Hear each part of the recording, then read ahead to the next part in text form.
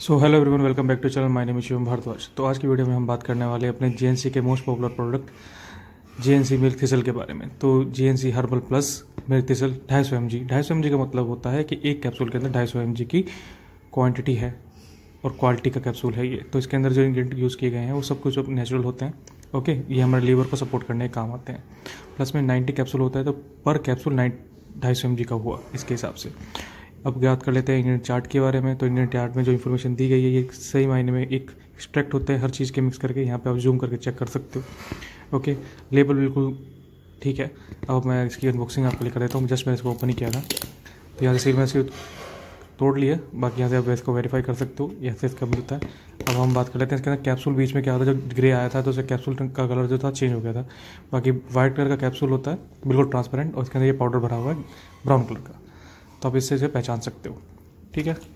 Verify भी कर सकते हो। ओके अब हम बात कर लेते हैं, इसकी कॉपी आती है या नहीं मार्केट के अंदर? यस इसकी कॉपी मार्केट के अंदर बहुत ज़्यादा आती है।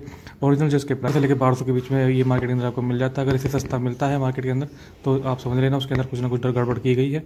जेएनसी अगर ऑफिशियल साइड स्कीम निकालती है तो बात अलग है, पर लेकिन जैनवन वेबसाइट में आपको इसके रेट हज़ार रुपये से लेकर बारह सौ के बीच में ही मिलेंगे।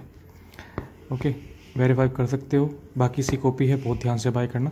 बाकी आपको जब जो ये बोतल होती है ना, इसकी क्वालिटी से आपको देख के पता लग जाता है कि आपका प्रोडक्ट ओरिजिनल है या नहीं। क्योंकि जो कंपनी है, वो किसी भी चीज़ में अपना कंप्रोमाइज़ नहीं करती।